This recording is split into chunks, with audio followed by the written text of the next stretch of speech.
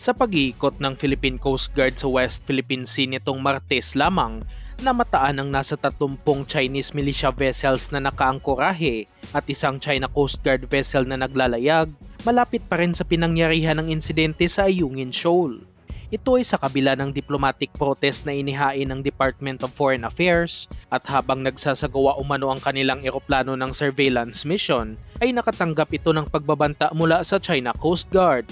Nagradyo naman ang patrol aircraft ng Philippine Coast Guard at sinabihan ang mga Chinese vessels na umalis sa ating teritoryo dahil hindi sila otorisado na maglayag sa katubigan ng Pilipinas.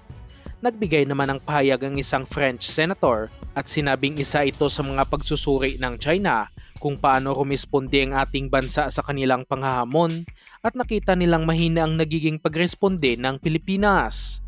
At dahil nga sa nahihirapang pumalag ang ating pwersa laban sa China, pinag-uusapan na sa ngayon sa pagitan ng Philippine Government at Australia na magsagawa ng Joint Maritime Patrol sa West Philippine Sea bilang pagpapakita ng suporta ng Australia sa ating bansa. Ito ay matapos ang pag-uusap sa pagitan ng Deputy Prime Minister ng Australia at ni President Bongbong Marcos sa Malacanang patungkol sa pagpapaigting ng defense cooperation ng dalawang bansa at pagpapanatili ng kapayapaan sa Indo-Pacific region. Isa din ang Australia sa mga unang bansa na sumuporta sa Pilipinas at nagprotesta laban sa China sa nangyaring insidente sa Ayungin Shoal na naging usap-usapan na rin sa ibang bansa. Sa mga hindi nakakaalam, mayroong VFA o Visiting Forces Agreement ang Pilipinas at Australia katulad ng sa Estados Unidos na kung saan pinapayagan na pansamantalang manatili ang kanilang mga pwersang militar sa teritoryo ng Pilipinas.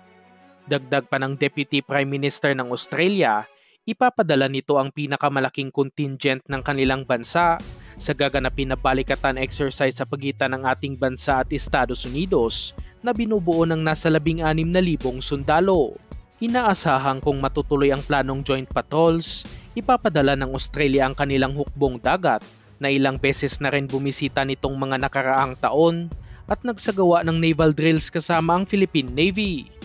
Maliban sa Australia, matatanda ang nagkasundo din ng Pilipinas at Estados Unidos na magsagawa ng joint patrol sa West Philippine Sea at habang ang Japan naman ay pinaplano ding magkaroon ng visiting forces agreement sa Pilipinas. Kung matutuloy nga ito, tatlong bansa nang magkakaroon ng presensya sa teritoryo ng Pilipinas, lalo na sa West Philippine Sea at isang malaking mensahe ito laban sa China.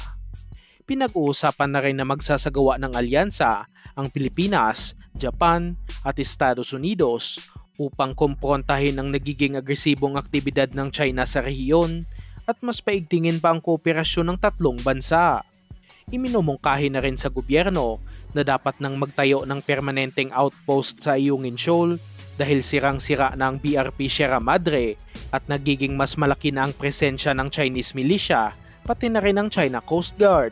Mas malapit din ang Ayungin Shoal sa Pilipinas kung ikukumpara sa Pag-asa Island kaya walang pagdududa na nasa loob ito ng teritoryo ng Pilipinas. Inaasahan din na hindi ikakatuwa ng Chinese government ang alyansang binubuo ng apat na bansa at inaasahang mas lalo pang magiging agresibo ang kanilang aktibidad sa West Philippine Sea.